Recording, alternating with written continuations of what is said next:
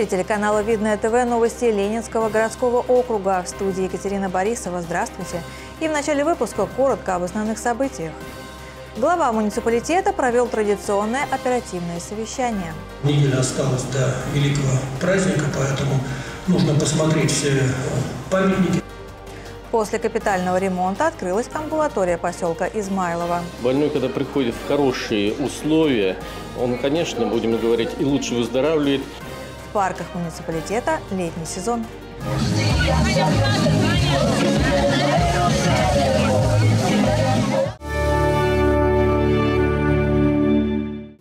Традиционное оперативное совещание провел глава Ленинского городского округа Алексей Спасский. В ходе него заместители главы администрации, руководители муниципальных управлений и служб доложили об итогах работы и ближайших планах. О главных темах, которые обсудили в ходе совещания, расскажет Максим Козлов.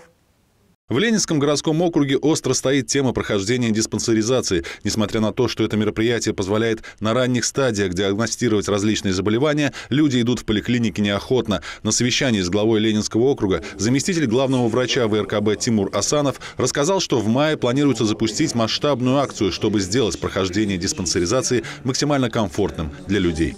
Основные базы это будут взрослая поликлиника, модуль диспансеризации и южная поликлиника. Пройти диспансеризацию можно будет э, с, э, с 6 дней в неделю с 8 до 20.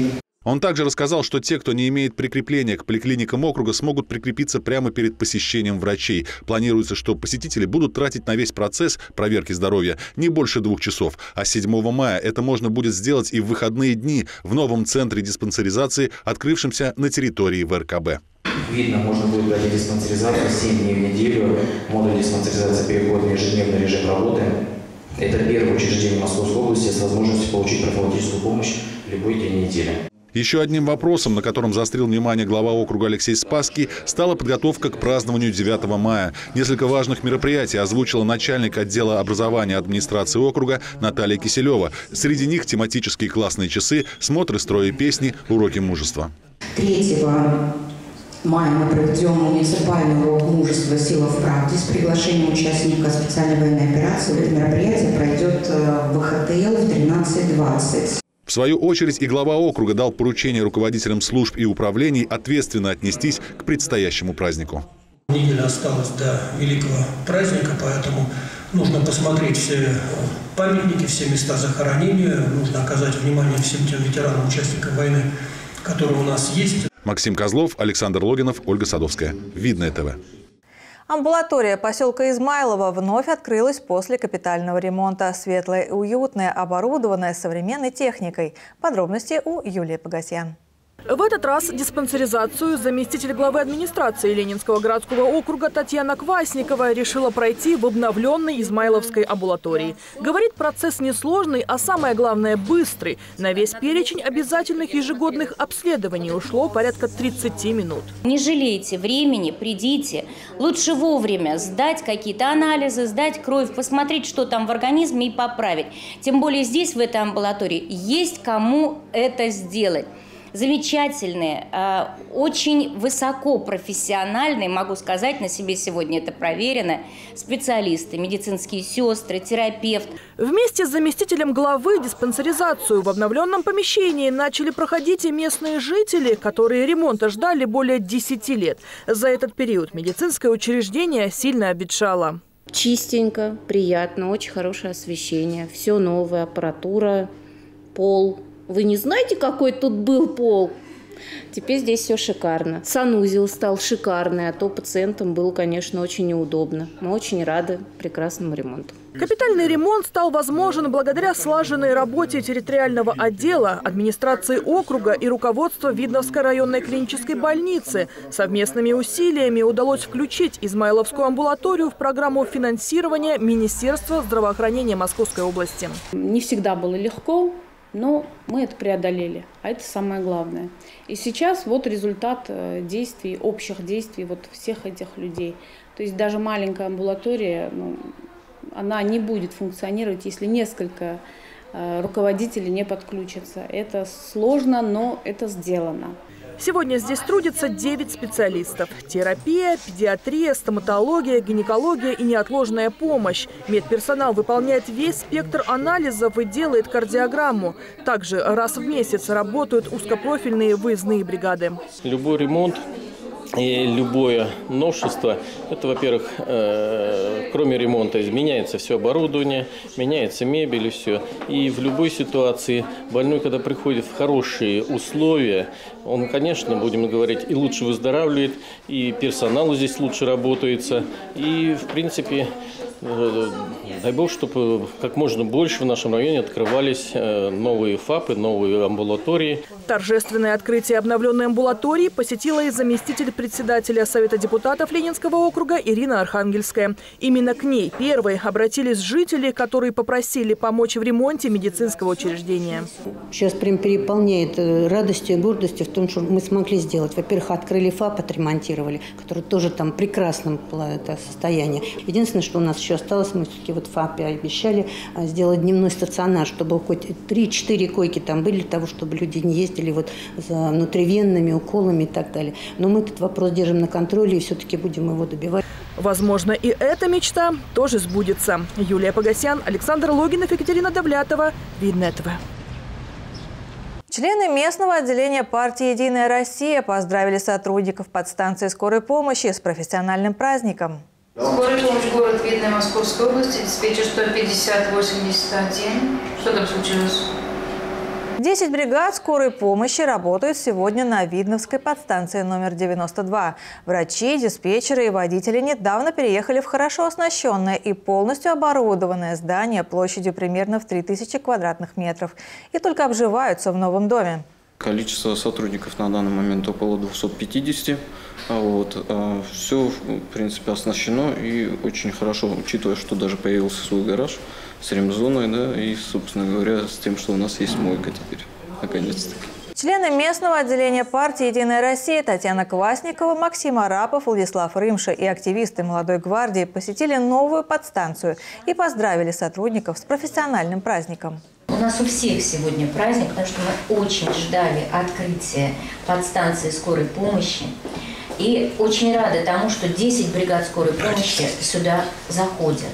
Гости вручили сотрудникам цветы и подарки, привезли рисунки школьников и осмотрели все помещения нового здания. Ремонтные работы были выполнены быстро, качественно, в срок и даже, можно сказать, они опередили все э, сроки и ожидания. Видновская подстанция номер 92 была возведена всего за 4 месяца и уже работает в круглосуточном режиме. До праздника Победы остаются считанные дни. В преддверии 9 мая бывшие малолетние узники концлагерей собрались в Видновском филиале комплексного центра социального обслуживания и реабилитации «Домодедовский», где пообщались за чашкой чая.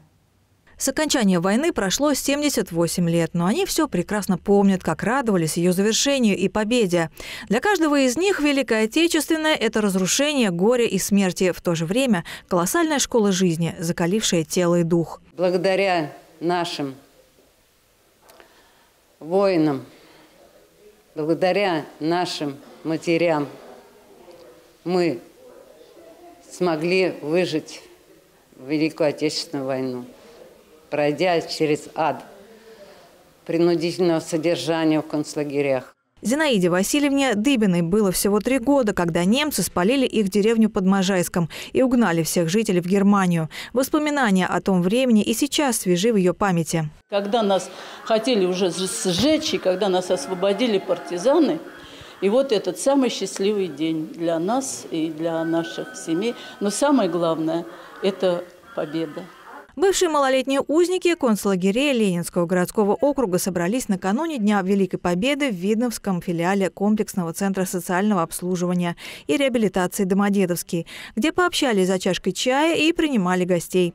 Детей войны посетили представители Центра социальной защиты и Видновской поликлиники. Они не только поздравили ветеранов с грядущим праздником, но и напомнили о льготах, на которые те имеют право. Бывшие несовершеннолетние узники фашистских концлагерей, имеющие ряд льгот, а, имеют право также обеспечиваться вне очереди в амбулаторно-поликлинической сети. А, в ряде мероприятий в рамках проекта э, здравоохранения, нам необходимо, согласно приказу о диспансерному наблюдению, провести диспансеризацию. Поздравили с грядущим праздником бывших узников и представители торгово-промышленной палаты, давние друзья организации. Их становится все меньше и меньше. И вот э, сравниваем с прошлым годом, да, э, к сожалению, уходят из жизни, но вот те, кто у нас э, остается и на сегодняшний момент живы, они, естественно, нуждаются в нашей поддержке и в нашем внимании.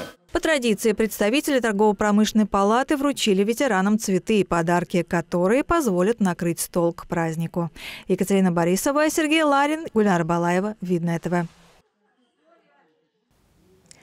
1 мая во всех четырех парках муниципалитета открылся летний сезон. В одном из них, в Центральном парке, побывала наша съемочная группа. Здесь устроили веселый праздник для видновчан и гостей города. Екатерина Коваленко зарядилась прекрасным настроением.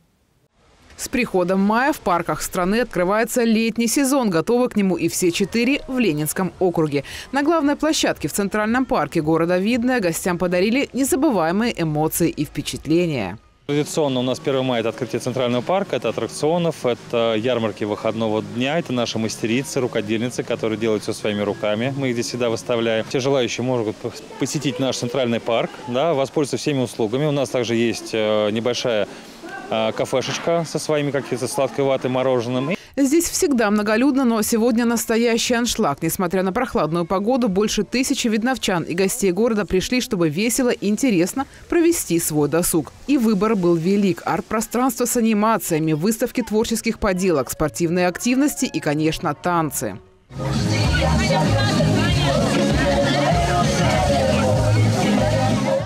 Также для гостей подготовили концерт и театрализованные представления, мастер-классы по декоративно-прикладному творчеству и рисунку. Украсить свой любимый парк мог любой желающий. У нас сегодня мастер-класс «Весенние цветы». У нас там вот даже дерево зацвело, поэтому мы решили вот такую вот сделать какую-то интересную программу, чтобы все было очень легко, чтобы у всех все получилось и было, конечно, у нас у всех хорошее настроение. А ученики художественного отделения Видновской детской школы искусств сегодня на пленэре. Рисуют, разумеется, живописные уголки парка. Вдохновение здесь повсюду, признается юная художница София Коник. Наш центральный парк очень красивый, в нем очень благородно, он так вдохновляет меня. За что любишь это место? Я люблю, потому что тут очень общительно, много людей, и тут очень приятно находиться. Центральный парк – особое место на карте города. Это настоящая точка притяжения, где можно классно провести время и получить массу положительных эмоций. Мы очень часто ходим сюда в парк, потому что это наш любимый парк. А, здесь очень много интересного. А, а, проводятся различные мероприятия, как сегодня, например. Вот мастер-классы, все для детей. В общем, нам нравится. Часто. Мы всегда на открытии и рядом живем. Нам нравится парк. А что любите здесь больше всего? Ну, аттракционы, наверное, да, вот ходим, катаемся, гуляем. Что ж, первый майский день в Центральном парке получился веселым и незабываемым. Ярким обещает быть и весь сезон 2023. Его событийный стандарт насыщен разными мероприятиями, спортивными и творческими на территории всех парков. Екатерина Коваленко, Александр Логинов, Ольга Садовская. Видно ТВ. И это все новости на сегодня. С вами была Екатерина Борисова. До встречи.